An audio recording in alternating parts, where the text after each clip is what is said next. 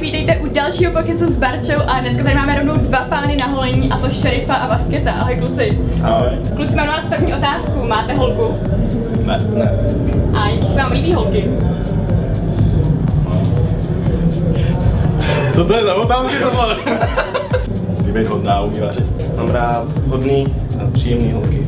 Nějaký vzhled? Je pro Ne, to tak- důležitý?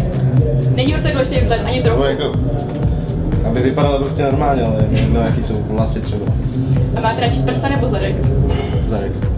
A pak co děláte, když nehrajete počítačové hry? Občas hraju fotbal, nebo trávím čas s kamarádem. A ty? No, nic. jako trochu posledu, no. Posiluješ. A řekni mi tvoje tři špatný a tři dobrý vlastnosti.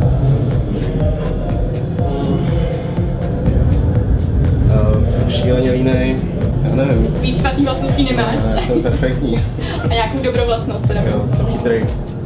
A co ty? Jiný, neuznávám autority. Já jsem hodný. Prostě umíte vařit? Musím udělat chleba, ne? A co studujete? Průmyslovou školu, strojírenství. A ty? Uh, veřejný právo. Pokud mám dát takovou poslední, poslední úkol, nebo je to úplně otázka. Uh, můžete mi pojďte, ne, pojďte najednou, kluci, pojďte najednou. Co je pantonima? Můžeš nám to ukázat, prosím? tak tohle bylo z nás všechno a uvidíme se zase příště. Ahoj.